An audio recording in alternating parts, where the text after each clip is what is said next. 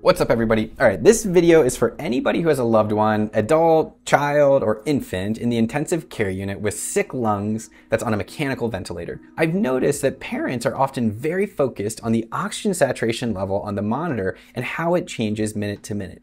And that's legitimate. That is a great thing to focus on, and it's what we're focused on as well. But there's another number that I think is equally, if not more important, that we need to pay attention to, and that's the FiO2. So remember that the FiO2 is the amount of oxygen that we're giving in the gas that's supplied by the ventilator. It can be 21% at the lowest, 100% at the highest.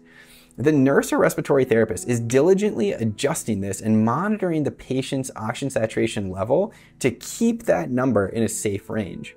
So the point I want to make is, if overnight you told me that a patient had oxygen saturation levels of say 93 to 95%, but the ventilator was requiring 80% FiO2 to get them there, that might make me a little nervous.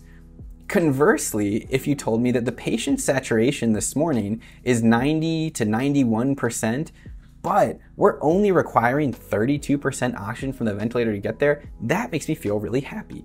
And so the point I'm making is that the fluctuations in the oxygen saturation matter. I'm not saying they don't.